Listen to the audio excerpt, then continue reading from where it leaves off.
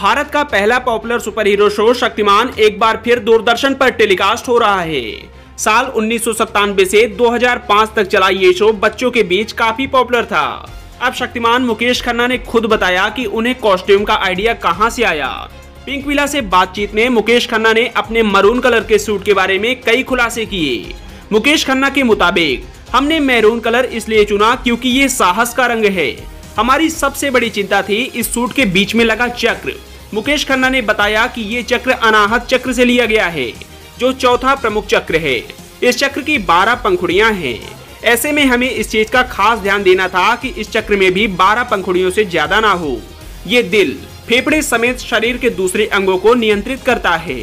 मुकेश खन्ना ने इस इंटरव्यू में बताया कि उनका ये सूट पहले दिन से उन पर फिट बैठ रहा था। हालाँकि उन्होंने खुलासा करते हुए बताया कि पहले एपिसोड में इस सूट में कॉलर भी होने वाला था। हालाँकि फिर हमने ये आइडिया ड्रॉप कर दिया। मुकेश खन्ना के मुताबिक, मुझे लगता है कि सुपर हीरो को किसी कॉलर की ज़रूरत नहीं होती है। आपको बता दें कि लॉकडाउन के कारण शक्तिमान रोज़ाना दोपहर एक बजे दूरदर्शन पर टेलीकास्ट किया जा रहा है।